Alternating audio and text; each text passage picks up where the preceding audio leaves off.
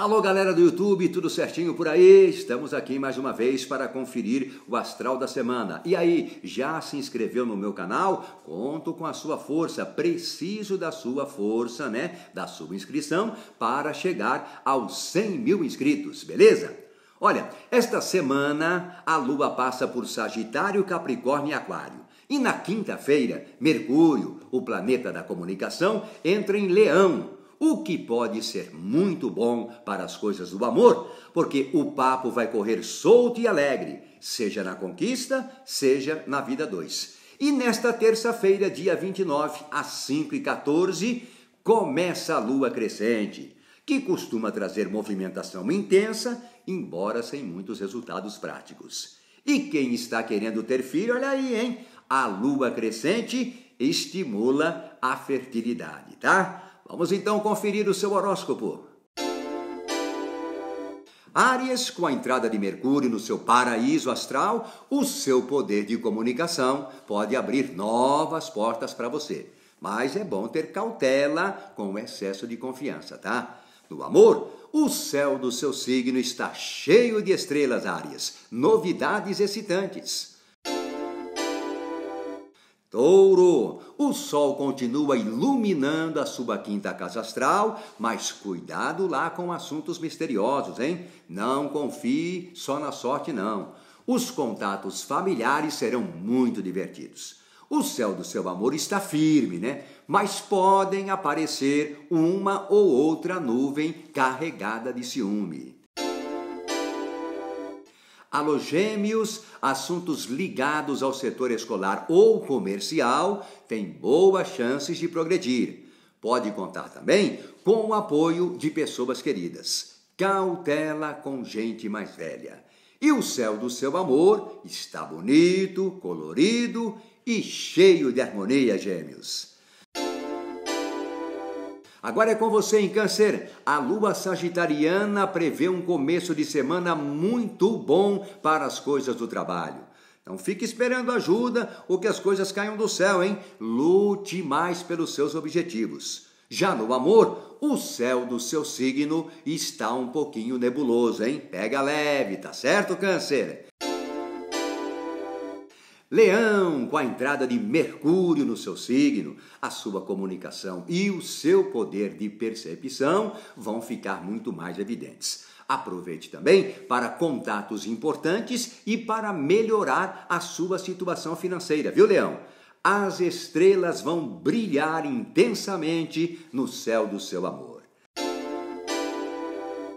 Virgem, questões familiares devem dominar suas atenções no comecinho da semana.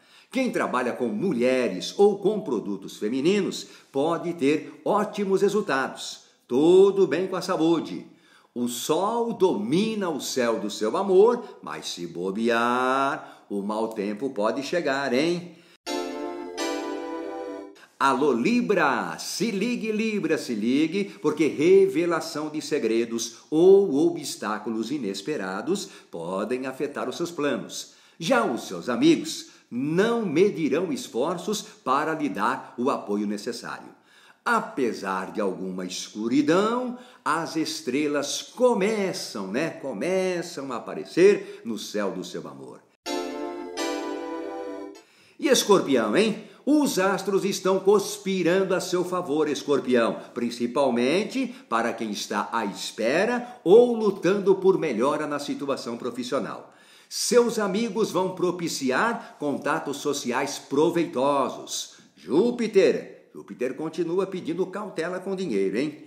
O céu do seu amor está brilhante, mas a sua vontade de se destacar pode prejudicar. Valeu? Sagitário, você vai se convencer de que precisa ter mais disciplina para vencer no trabalho ou na parte financeira.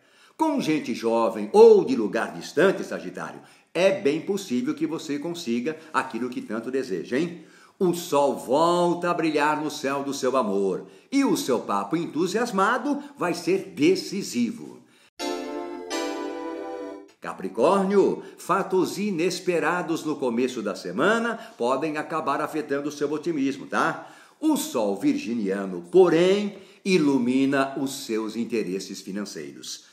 Surpresas com pessoas de longe.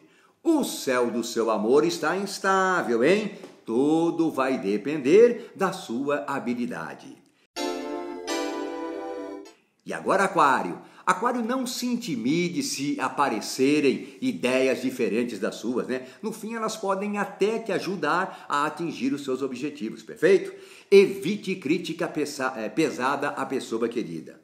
Poucas estrelas no céu do seu amor, mas com uma boa dose de compreensão, tudo pode mudar. E finalmente, peixes. O Sol em Virgem pode sempre aumentar a sua disciplina, a sua determinação, e isso vai acabar fazendo toda a diferença em suas conquistas, viu, peixes? Semana favorável para assuntos ligados ao trabalho ou à saúde.